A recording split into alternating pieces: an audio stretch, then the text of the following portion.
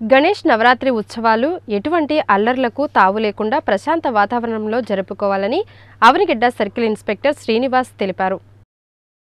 గణేష్ ఉత్సవాలు సందర్భంగా ఉత్సవ కమిటీలకు సూచనలు చేస్తూ ఆవనగడ్డ పోలీస్ స్టేషన్ల సర్కిల్ ఇన్స్పెక్టర్ జి శ్రీనివాస్ విలేకరుల సమావేశం నిర్వహించారు. ఈ సందర్భంగా ఆయన మాట్లాడుతూ విగ్రహ ఏర్పాటు స్థలంలో సౌండ్ మైక్లను ఏర్పాటు చేసుకోవడానికి పోలీసుల అనుమతి తీసుకోవాలని అదేవిధంగా ఉదయం ఆరు గంటల నుంచి రాత్రి పది గంటల వరకు మాత్రమే మైక్లను వినియోగించాలని అన్నారు. విద్యుత్ కనెక్షన్ నిమిత్తం విద్యుత్ సంస్థ నుండి అనుమతులు తప్పనిసరిగా పొందాలని తెలిపారు. గణేష్ నిమజ్జనం పూర్తయ్యేంత వరకు ఉత్సవ కమిటీదే పూర్తి బాధ్యత అని సిఐ స్పష్టం చేశారు. ఈ కార్యక్రమంలో అవనగడ్డ ఎస్ఐ పాల్గొన్నారు. కోడూరు నాగాలంక పరిధిలో ఉన్నటువంటి గ్రామ ప్రజలందరికీ కూడా వినాయక చవితి శుభాకాంక్షలు.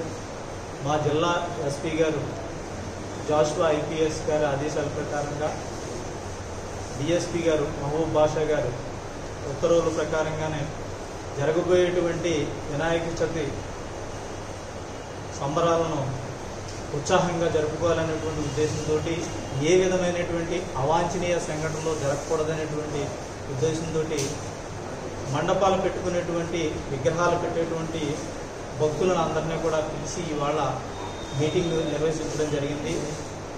ఈ విగ్రహం పెట్టుకున్నటువంటి భక్తులందరూ కూడా ఒక పది మంది కమిటీగా ఏర్పడి వాళ్ళు పోలీస్ వారి దగ్గరికి వచ్చి పర్మిషన్ తీసుకోవాలనేటువంటిది చెప్పడం జరిగింది.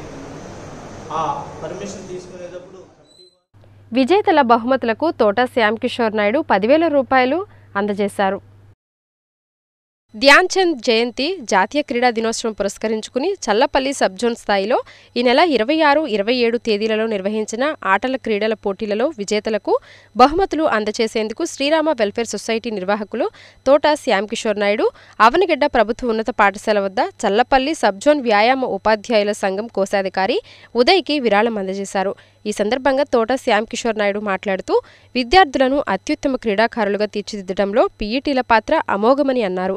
ఈ కార్యక్రమంలో ఆ సంఘం అధ్యక్ష కార్యదర్శులు కోసూరు పూర్ణచంద్రరావు గరికపాటి మారుతి పీడీజీ ఎన్బి గోపాల్ వ్యాయామ ఉపాధ్యాయ సంఘం జిల్లా జాయింట్ సెక్రటరీ డి శేషగిరి మట్టి హరిగోపాల్ పీఈటీలు పాల్గొనగా చల్లపల్లి సబ్జోన్ సంఘం గౌరవ అధ్యక్షులుగా చల్లపల్లి సబ్జోన్ సంఘ గౌరవ అధ్యక్షులుగా తోట శ్యామకిషోర్ నాయుడుని ఎన్నుకున్నట్లు ఆ సంఘ అధ్యక్షులు పూర్ణచంద్రరావు తెలిపారు.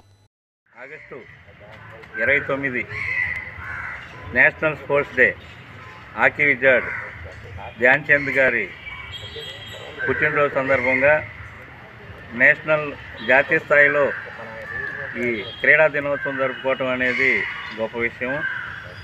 అది కూడా మన అవనిగడ్డలో దీవు తాలూకాలో దరిదాపు ఈ చుట్టుపక్కలలో లేదా జిల్లాలో కూడా ఎక్కడా లేని విధంగా పీఈటీలు పీడీలు ఇక్కడే ఉండటం మన జీవితం చేసుకున్న అదృష్టం. ఎక్కడా జరగని విధంగా ప్రతి సంవత్సరం కూడా దరిదాపు ఈ జా క్రీడా దినోత్సవం అనేది జరపటం. దాన్ని మనం పిఈటీ దినోత్సవం అనేది కూడా మనం జరుపుకోవడం జరిగింది టీచర్స్ డే లాగా. అట్లా ఎక్కడా జరగని విధంగా ఆటలు కబడ్డీలు ఈ స్పోర్ట్స్ ఇవన్నీ జరిపి ఈవెంట్స్ జరిపి వాళ్ళలో ప్రతిభను ప్రోత్సహిస్తూ వాళ్ళకి బహుమతులు అందజేయటం. వినాయక చవితి సందర్భంగా రాజుపేటలో వినూత్నంగా కొబ్బరికాయతో గణేశుణ్ణి నెలకొల్పారు. మానవ జీవనానికి అత్యంత ప్రమాదకారిగా పరిణమించిన పర్యావరణాన్ని పరిరక్షించడంలో భాగంగా గత కొన్ని ఏళ్ళుగా ఏకో ఫ్రెండ్లీ గణపతిని నెలకొల్పుతున్న శ్రీ లక్ష్మీ గణపతి నిత్య పూజా సేవా సమితి వినూత్నంగా ఈ ఏడాది వినాయక చతుర్థి పురస్కరించుకుని కొబ్బరికాయలతో గణేశుని ఏర్పాటు చేసింది. రాజుపేటలో గత ముప్పై ఐదేళ్ళుగా పర్యావరణ హితం కోరుతూ వినాయక విగ్రహాలు ఏర్పాటు చేస్తున్న సమితి రెండు వేల కొబ్బరికాయలతో గణేశ విగ్రహం నెలకొల్పారు. ఈ నెల ముప్పై ఒకటి నుంచి వచ్చే నెల పదకొండు వరకు ముప్పై ఐదవ గణపతి నవరాత్రి ఉత్సవాలలో భాగంగా పలు విశేష పూజలు అభిషేకాలు హోమాలు జరుపుతున్నట్లు శ్రీ లక్ష్మీ గణపతి స్వామి ఆలయ నిర్వాహకులు తెలిపారు. మచిలీపట్నం ప్రజలకు రాజుపేట భక్త బృందం నుంచి స్వాగతం సుస్వాగతం. మచిలీపట్నంలో రాజుపేటకు ఒక ప్రత్యేకమైనటువంటి స్థానం ఉంది. ఆంధ్రజాతీయ కళాశాల వ్యవస్థాపకులు ఆంధ్రజాతీయ కళాశాల స్వాతంత్ర ఉద్యమంలో ప్రథమ భూమిక పోషించినటువంటి ఈ పేట. ఈ పేటలో జాతీయ విప్లవం ఉర్రూలింగినటువంటి ప్రాంతం ఈ ప్రా ఈ పేట.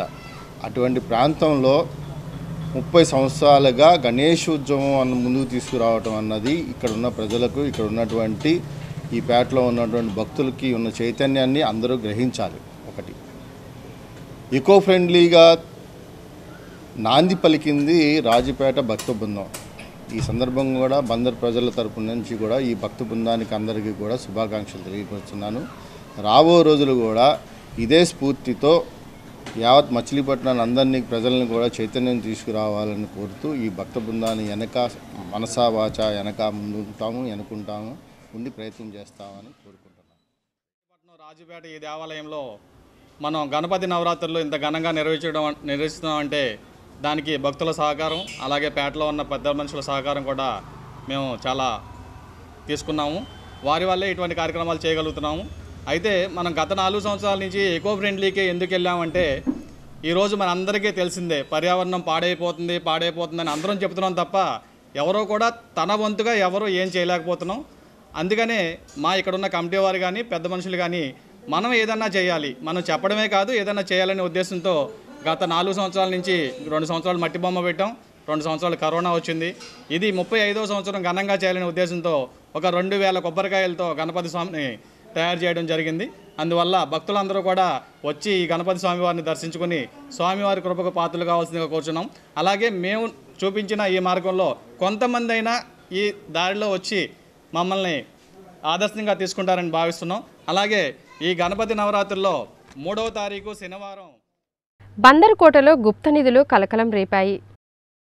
బందరుకోటలో గుప్త నిధులు కలకలం రేపింది. మట్టి చదును చేస్తుండగా పురాతన లోహపు ముద్దలు బయటపడినట్లు పుకార్లు షికార్లు చేశాయి. ఫిరంగులలో పెట్టే గుళ్ళగా అధికారులు భావిస్తున్నారు. పురావస్తు శాఖ అధికారులకు అధికారులు సమాచారం అందించారు. బయటపడ్డవి బ్రిటిష్ కాలం నాటి ఫిరంగి గుళ్ళుగా అనుమానిస్తున్నారు. బందర్కోటలో జగనన్న ఇళ్ళకు లేఅవుట్ను చదును చేస్తుండగా పదహారు వందల శతాబ్దం నాటి ఫిరంగి గుళ్ళు బయటపడ్డాయి. దాదాపు ఏడు వరకు బయటపడ్డాయి. వాటిని రెవెన్యూ అధికారులకు బందరుకోట కార్పొరేటర్ శేషయ్య అప్పగించారు. ఈ వార్తలు ఇంతటితో సమాప్తం. నమస్కారం.